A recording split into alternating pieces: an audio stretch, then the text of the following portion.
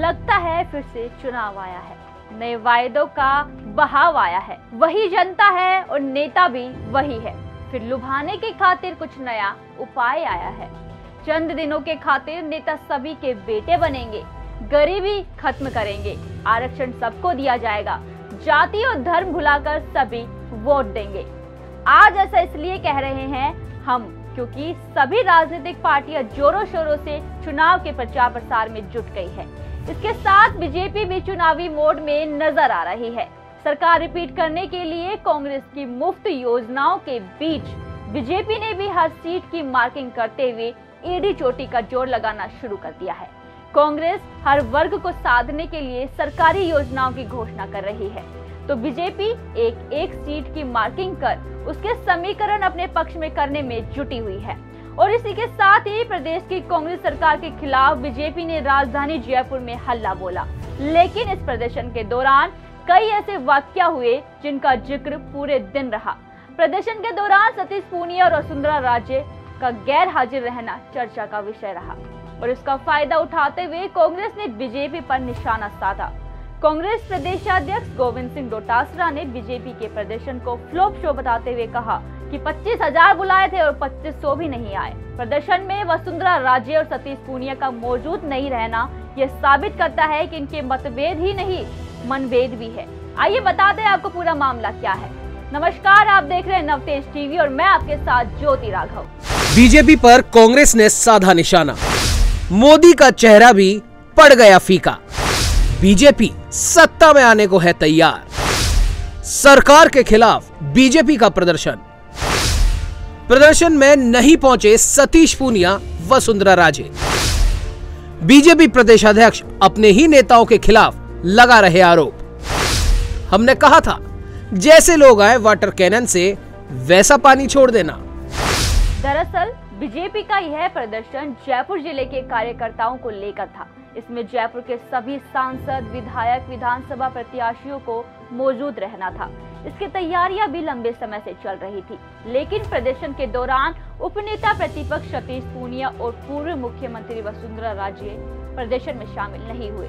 प्रदेश की कांग्रेस सरकार के खिलाफ बीजेपी ने जयपुर में हल्ला बोला। दरअसल, सतीश पूनिया महाजन संपर्क अभियान के तहत उत्तर प्रदेश की चार लोकसभा सीटों के दौरे कर रहे हैं। इसके साथ ही विपक्षी कांग्रेस प्रदेशाध्यक्ष गोविंद सिंह डोटासरा ने बीजेपी के प्रदर्शन को फ्लोप शो बताते हुए कहा कि पच्चीस हज़ार तो बुलाए थे, लेकिन 2500 भी नहीं आए। बीजेपी की सभा में कुर्सियाँ खाली पड़ी थी। इस प्रदर्शन में वसुंधरा राजे सतीश पूनिया का मौजूद रहना यह साबित करता है कि इनके मतभेद ही नहीं, मनभेद भी है। बीजेपी किसी भी विरोध प्रदर्शन में एक नहीं हो पाई है। डोटासरा प्रदेश कांग्रेस मुख्यालय से मीडिया से बातचीत कर रहे थे। बीजेपी के 200 मुख्यमंत्री बताने के आरोप पर डोटासरा ने कहा कि वे कम बता रहे हैं। हमारे यहाँ तो हर जिस कार्यकर्ता ने सरकार बनाने में भूमिका निभाई, वह मंत्री, मुख्यमंत्री और प्रदेशाध्यक्ष की तरह ही है। बीजेपी की तरह दो या तीन लोग ही सत्ता पर काबिज नहीं होते। कांग्रेस में हर कार्यकर्ता को मौका मिलता है। डोटासरा ने कहा, बीजेपी किसी भी विरोध प्रदर्शन में एक नहीं हो पाई है। प्रदर्शन में जितने भी वक्ता, उनमें एक भी नेता ओबीसी का नहीं था। ओबीसी के हितैषी होने वाला राग अलापने वाली बीजेपी ने किसी ओबीसी नेता को बोलने का मौका तक नहीं दिया। राजेंद्र राठौड़ भाषण दे रहे थे, जो 500 लोग भी नहीं थे। इनकी दुर्गति देखिए, कार्यकर्ताओं को भाषण सुनाने के लिए कस्में दिलाई जा रही थी। बीजेपी के नेताओं में इतने मतभेद है कि एक नहीं हो सकते। डोटासरा ने कहा, बीजेपी के नेता एकजुट नहीं है। मोदी जी के चेहरे पर चुनाव लड़ रहे थे, अब मोदी जी का चेहरा भी फीका पड़ गया है। मोदी के चेहरे पर न पंजाब जीत पाए, न कर्नाटक। आरएसएस ने भी कह दिया कि अब मोदी के भाषणों या मन की बात से और मोदी के चेहरे पर चुनाव नहीं लड़ा जा सकता। बीजेपी के प्रदर्शन में वाटर कैनन से गंदा पानी छोड़ने के सवाल पर डोटासरा ने कहा, हमने पुलिस प्रशासन से कहा था कि जैसे लोग आए, उन पर वैसा पानी छोड़ देना। हम तो उम्मीद कर रहे थे कि अच्छे लोग आएँगे अच्छा पानी छोड़ेंगे। डोटासरा ने आगे कहा कि कर्नाटक की हार से बौखला कर बीजेपी नेता गैर जिम्मेदाराना बयान दे रही है। सरकार पर झूठे आरोप लगाने की कोशिश कर रही है और इस तरह से धमकी भी दे रही है कि हमारी सरकार आएगी तो देख लेंगे।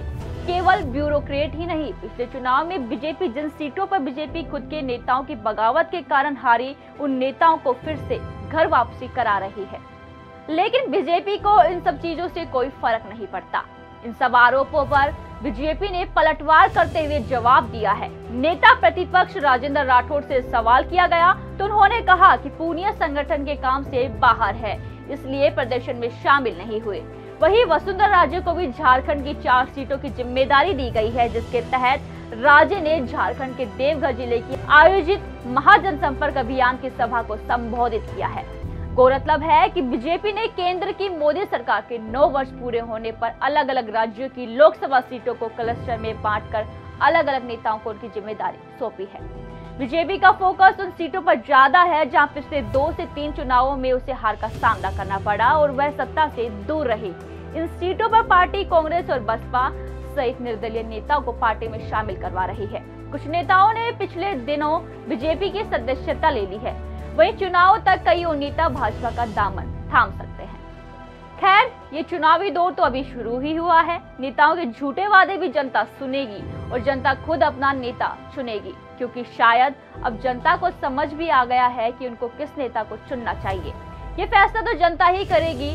वहीं राजस्थान के सीएम अशोक गहलोत भी जयपुर में प्रचार की कमान संभाल रखी है। गहलोत ने घर घर जाकर लोगों से कांग्रेस को वोट देने की अपील भी की है। मीडिया से बातचीत में गहलोत ने एक बार फिर बीजेपी पर निशाना साधा और कहा, इस बार केंद्र में बीजेपी की सरकार नहीं बनेगी। और यह तो आने वाला वक्त ही बताएगा, आखिर किसके सर सजेगा? राजनीति का ताज और कौन होगा जनता का नेता? तब तक राजस्थान में चुनावी माहौल बना रहेगा और आप भी चुनावी माहौल का लुत्फ उठाते रहिए और देखते रहिए नवतेज टीवी। देश और दुनिया की हर बड़ी खबर के लिए सब्सक्राइब करें नवतेज टीवी और पल पल के अपडेट्स के लिए बेल आइकन को दबाना ना भूलें। क्योंकि आपकी खबरों का भरोसेमंद साथी है नवतेज टीवी।